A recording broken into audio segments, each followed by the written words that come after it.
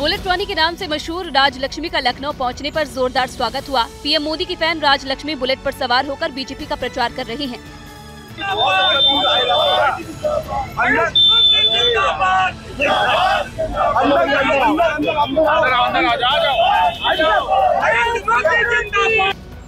राजलक्ष्मी ने मदुरई से 12 फरवरी को अपनी यात्रा की शुरुआत की थी। मदुरई से नई दिल्ली तक 21,000 किलोमीटर की यात्रा बुलेट से पैंसठ दिन में पूरी करनी है। ये यात्रा 15 राज्यों से होती हुई 18 अप्रैल को दिल्ली में खत्म होगी। राजलक्ष्मी अपनी यात्रा के दौरान vote for Modi, vote for nation की अपील कर रही हैं। अधिक से सीट मोदी जी के लिए भेजेंगे, ये मेरा वादा है। और मैंने 30 दिन पूरा साउथ में भ्रमण करने के बाद मैं नॉर्थ में आया हूँ।